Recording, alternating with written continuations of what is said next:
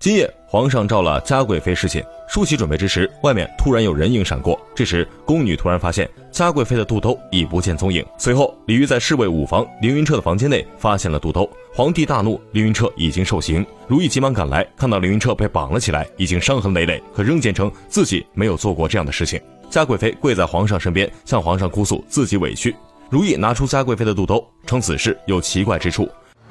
这时，燕婉赶来，看到被责打的凌云彻，如意为凌云彻求情，称此事还需详查，否则也会毁了皇上的圣誉。燕婉也为凌云彻说话，认为如意思虑周全。燕婉提议将凌云彻调职，打发得远远的，也好眼不见为净。皇上为了皇家的清誉，下令将凌云彻到木兰围场当值，不许回京。如意离开养心殿，嘱咐李煜好好照顾凌云彻。如意认为嘉贵妃与凌云彻无冤无仇，不会为了他毁了自己的名声。究竟是何人所为，如意也想不清楚。其实此事是晋中未除凌云彻所为，可燕婉心软，舍不得凌云彻，这才没有得逞。如意派容佩去看望凌云彻，还劝解凌云彻无论身在何处，都要耐得住艰辛，今后必得堂堂正正的回来。凌云彻十分感激如意。回宫后，如意急忙来看淑妃，如意劝导她孩子要紧，其他的事情慢慢调理都会好的。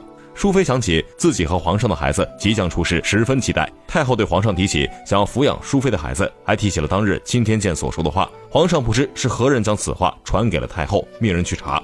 叶婉称自己曾看到那日自己离开后，看见梅嫔在外等候，皇上命李煜传梅嫔到养心殿。嘉贵妃的宫女看到了李煜的传旨，急忙回禀嘉贵妃。嘉贵妃害怕皇上发现了梅嫔曾经做事留下的马脚，害怕牵扯到自己，吩咐宫女给梅嫔下毒，以绝后患。